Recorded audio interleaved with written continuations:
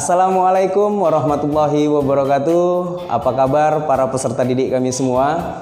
Semoga kita dalam keadaan sehat walafiat. Amin ya rabbal alamin. Eh, sebelumnya saya akan memperkenalkan diri. Nama saya Eko Saputra Damanik SPD. Saya akan mengajar bidang studi PJOK. Oke, pada kesempatan ini saya akan menyampaikan materi pembelajaran PJOK kelas 7.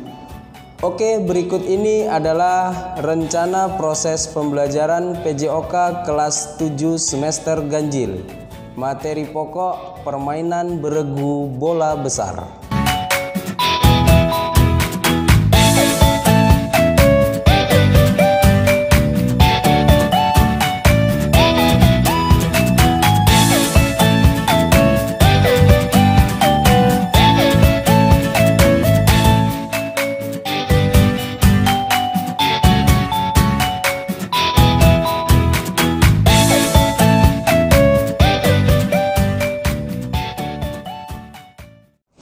Permainan bola besar itu terbagi menjadi tiga. Yang pertama, permainan sepak bola. Yang kedua, permainan bola voli. Dan yang ketiga adalah permainan bola basket. Pada kesempatan ini, yang akan kita bahas adalah tentang permainan sepak bola. Materi-materi yang terdapat dalam permainan sepak bola adalah yang pertama, pengertian permainan sepak bola.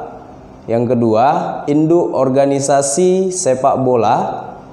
Yang ketiga, tujuan permainan sepak bola dan yang terakhir, yang keempat adalah teknik dasar dalam permainan sepak bola. Langsung saja kita ke materi yang pertama yaitu tentang pengertian sepak bola. Ya.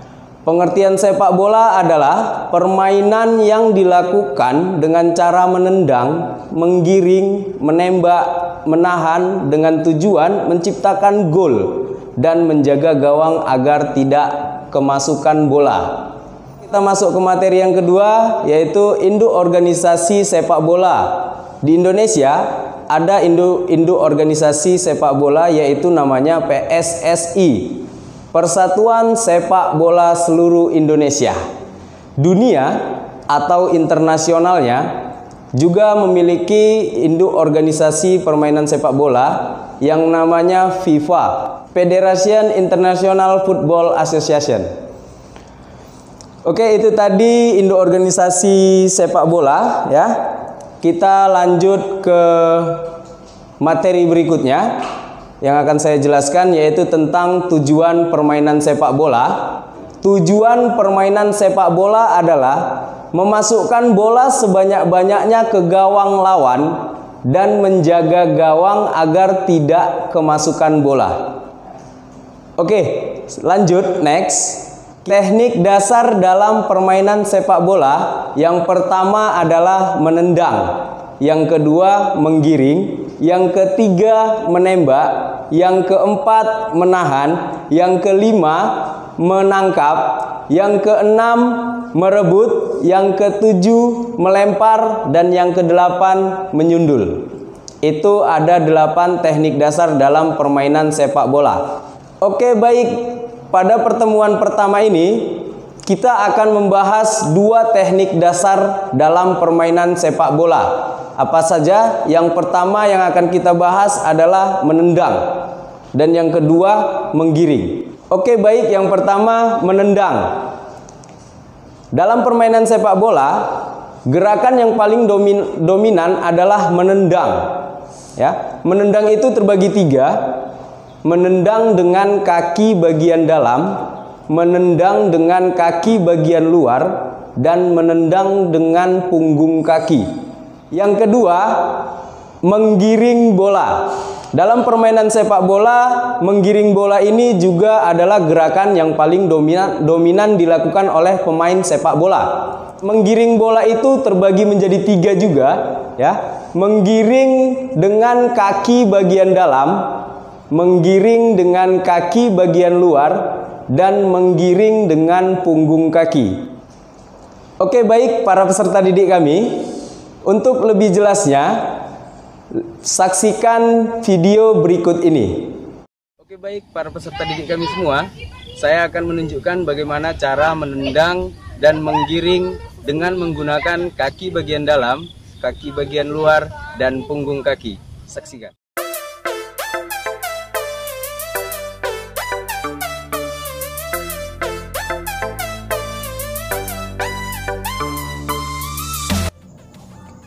Ya, diawali dengan posisi tubuh searah dengan bola, kaki tumpu berada di samping bola dengan lutut sedikit ditekuk, ayunkan.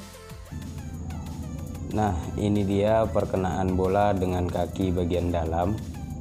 Kemudian lakukan berulang-ulang sampai kamu paham teknik gerakannya.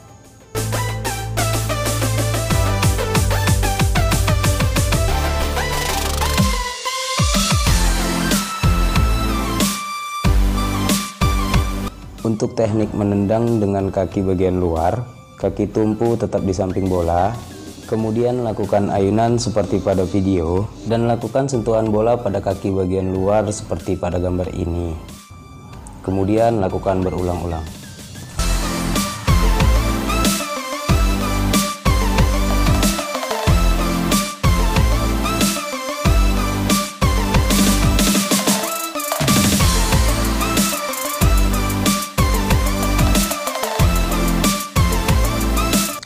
Pada teknik menendang dengan punggung kaki, kaki tumpu tetap di samping bola.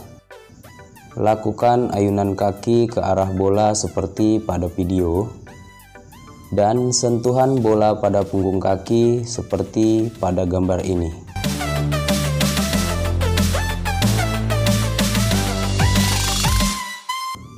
Kemudian lakukan berulang-ulang sampai kamu benar-benar paham.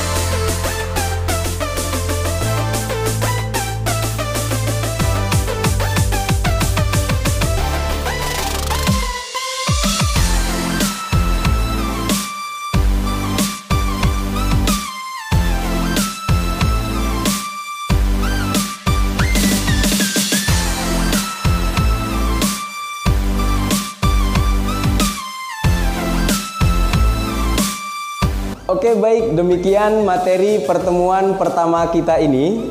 Selanjutnya kerjakan tugas berikut ini. Assalamualaikum warahmatullahi wabarakatuh. Salam olahraga